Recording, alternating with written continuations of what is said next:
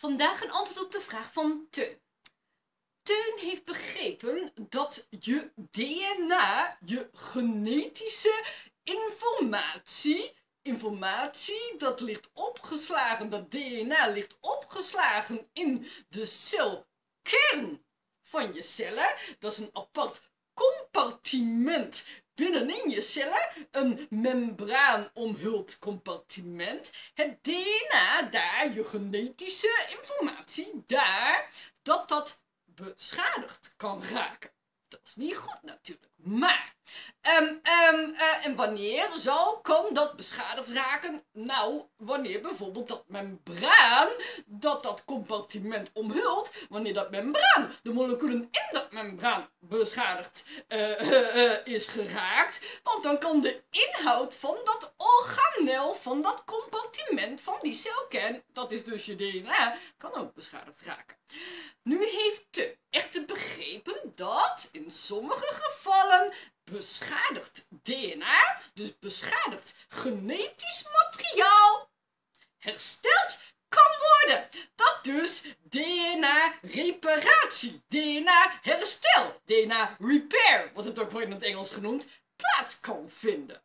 Maar dat je cellen niet altijd in staat zijn om beschadigd DNA te herstellen, te repareren. Dus de vraag van Teun is, omdat hij toch echt niet weet of die, uh, uh, uh, dat DNA van hem in zijn cellen en het membraan wat, dat, wat die celkern omhult, of dat in zijn geval wel eens beschadigd raakt, kan ik met mijn voeding ook invloed uitoefenen op het herstel van schade aan mijn DNA, mocht dat plaatsvinden. Want dan wil hij graag die invloed gaan uitoefenen, want hij wil graag intact DNA. Dat wil iedereen graag, intact genetisch materiaal. Dat is de vraag van Teun.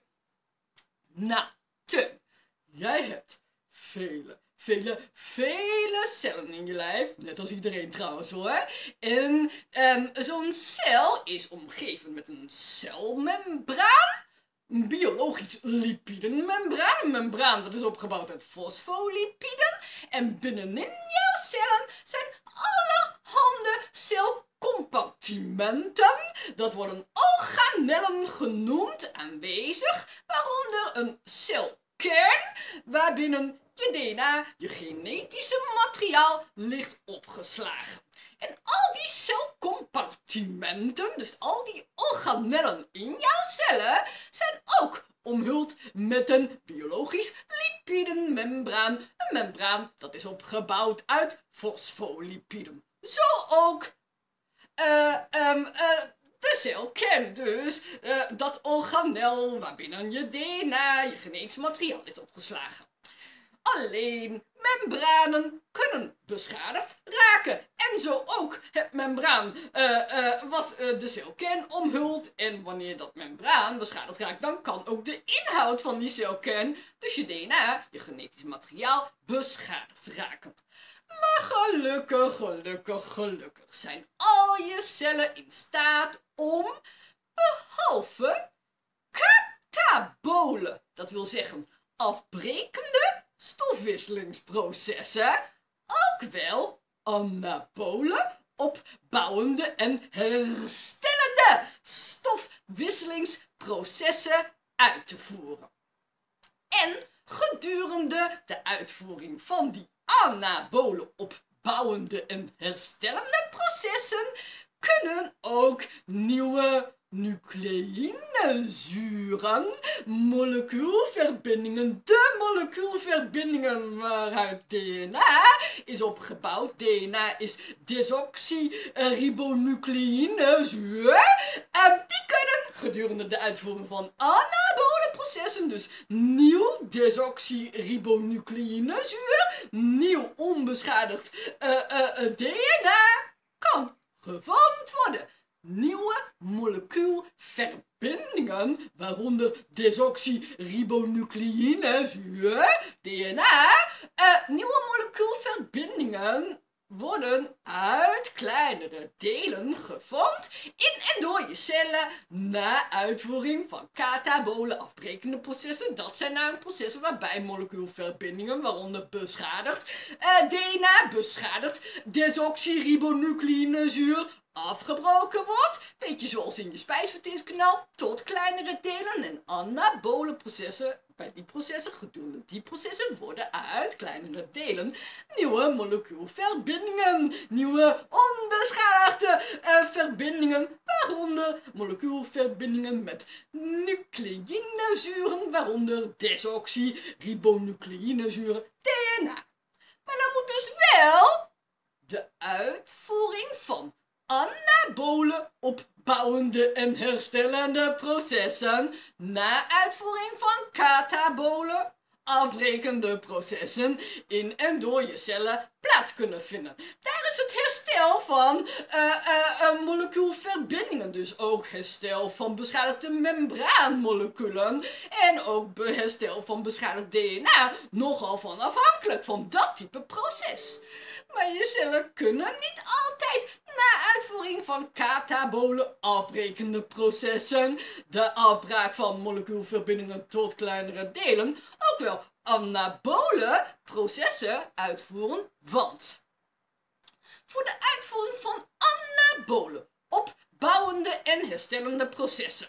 Waar dus ook herstel van beschadigd DNA, DNA repair van de vorming van nieuwe desoxyribonucleïnezuur. Um, um, uh, um, je cellen kunnen enkel anabole opbouwende en herstellende processen uitvoeren na katabolen, wanneer je cellen in het bezit zijn van voldoende vocht en voldoende bouwstoffen.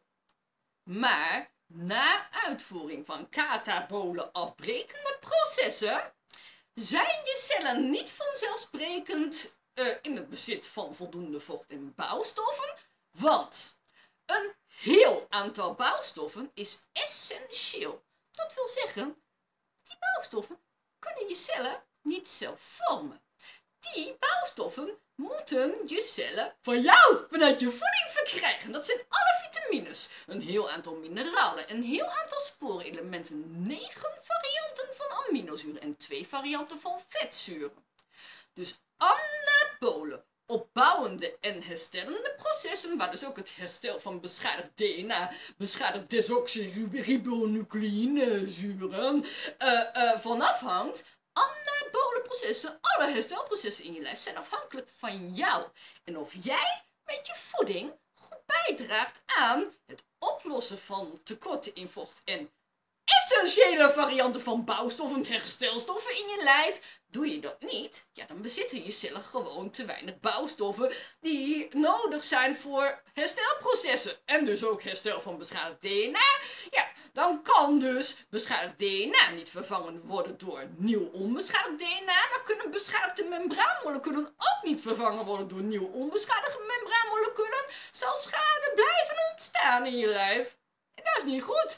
Dus als antwoord op je vraag of jij met je voeding invloed uit kan oefenen op het herstel van beschadigd DNA, ja, door um, zo goed mogelijk bij te dragen met alles wat je drinkt en eet aan het oplossen van tekorten in vocht in essentiële varianten van bouwstoffen, herstelstoffen in je lijf. Dat als antwoord. Op je vraag.